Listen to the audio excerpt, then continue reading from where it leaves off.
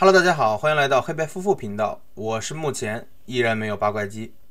今天要给大家讲一起呢关于爆炸的事件。事情发生在美国，在一九七八年，西北大学的一个教授呢收到一个包裹，这个包裹上面写了一行小字儿，说也许这是一颗炸弹。于是这个教授啊就很害怕，叫来了校警。那校警呢就把这个包裹给拆开了，结果呢一声巨响，这个校警的左臂被炸伤。一九七九年，同样在西北大学，一个研究生收到了一枚加强版炸弹，结果呢被炸伤。同年几个月以后呢，一个包裹在航空托运的时候发生了爆炸，迫使从芝加哥飞往华盛顿的美国航空四四四号班机紧急降落。一九八零年，美联航总裁在家里收到一个包裹，结果发生爆炸。总裁呢被炸伤。总之吧，从一九七八年到一九九五年十八年间，经警方判断属于这场连环爆炸案的案件一共有十六起，呃，一共有炸弹十六枚，炸伤了二十三人，炸死三人。而 FBI 呢，为了此案，专门成立了一个八十多人的专案组，出动了五百多名特工，误抓了两百多个疑犯，总共耗资呢超过七千万美元，但是依然呢没有找到凶手。那为什么 FBI 投入了这么多的人力财力，始终没有找到凶手，甚至都没有线索呢？原来啊，这个炸弹狂人的所有炸弹都是自己手工制作的，并且呢，他是一个有着这个工匠精神的强迫症。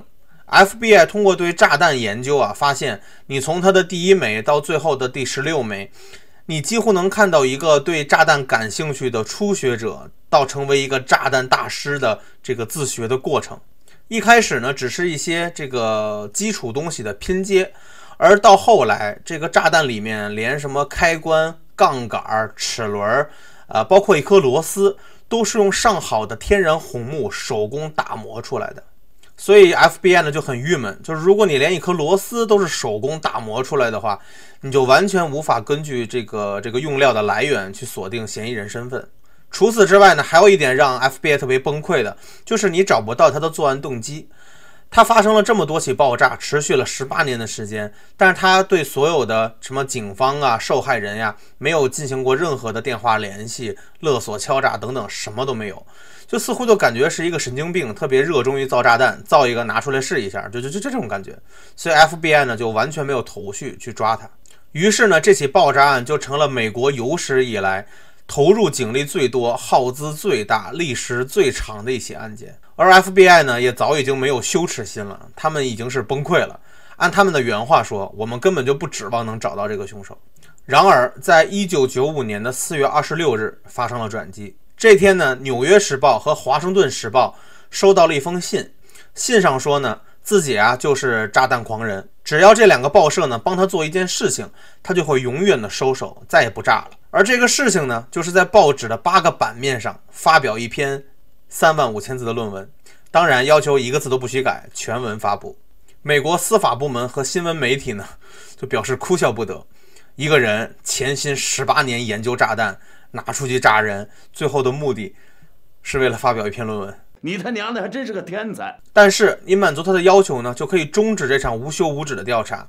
于是，在一九九五年的九月十九日，在 FBI 局长和美国司法部长的支持下，《纽约时报》和《华盛顿时报》就真的一字未改地刊登了这篇论文，《论工业社会及其未来》。但是没人想得到，这篇由犯罪分子写出来的论文，居然是一部哲学著作。文中呢，深深诅咒着高科技环境下现代社会的不自由。工业革命带来的人类灾难、社会的动荡以及生命意义的消失。文章呼吁，我们应该摧毁现代工业体系，恢复到工业社会之前的生活状态。这篇论文一出呢，引起了美国社会的震动。一些极端主义者和无政府主义者呢，甚至开始支持这个炸弹狂人。一名波士顿的艺术家甚至发动了一场这个签名活动，支持炸弹狂人竞选美国总统。然而，这篇让美国社会震动的论文也引起了一个女士的注意。这个女士通过这个论文里的用词和语言习惯呀，判断这很可能是自己的小叔子卡辛斯写的。于是，她就向警方呢举报了卡辛斯。那经过证实呢，呃，炸弹狂人还真的就是这个卡辛斯。于是被 FBI 抓起来，判了终身监禁。那么这个卡辛斯到底是谁呢？卡辛斯是个天才，从小遵纪守法，并且信仰科学和科技。五年级的时候测出智商高达一百六十七分，十六岁被哈佛大学数学系录取。之后，因为解决了博士导师也没能解决的数学难题，在二十岁获得了数学博士学位。二十五岁成为了伯克利史上最年轻的助理数学教授。依照一位退休教授的说法，卡辛斯的博士论文全美国只有十到十二个人能看懂。那这样一个天才为什么成为了罪犯呢？其实也是美国政府啊自作自受。原来啊，在美苏冷战期间。中情局呢曾经开发出了一种类似于洗脑的心理战计划，用来呢审讯苏联的这些间谍。而这个计划的初始呢，就是在哈佛大学找一批学生先做实验。而中情局认为卡辛斯一个把科学当成信仰的天才，是他们最好的实验对象。如果他们能把卡辛斯对于科学的信仰破坏掉，那么就没有什么间谍是他们对付不了的了。这个试验呢是秘密进行的。中情局先让卡辛斯写一篇关于科学信仰的论文，而卡辛斯呢就真的写了一篇，叫做《论科技将促进人类进步》。之后呢，中情局派出了自己最凶残的一个审讯员，他找到卡辛斯，开始讨论这个论文。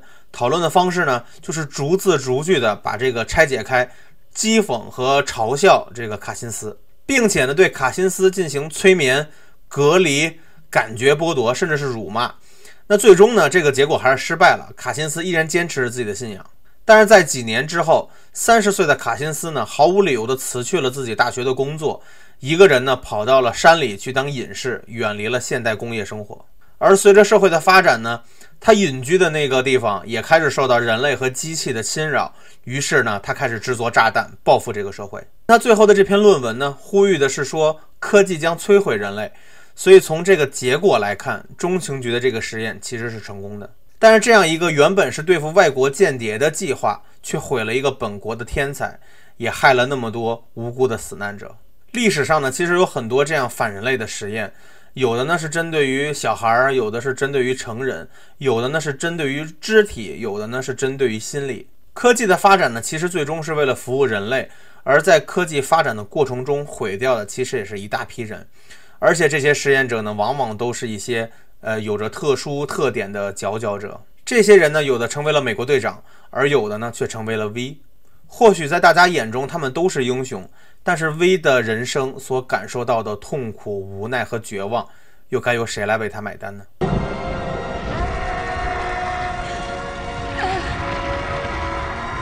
好了，今天的视频就到这里了。如果大家喜欢这期视频，欢迎慷慨三连，多多在弹幕、评论、私信中与我们互动。感谢大家的支持，黑白夫妇愿世界和平。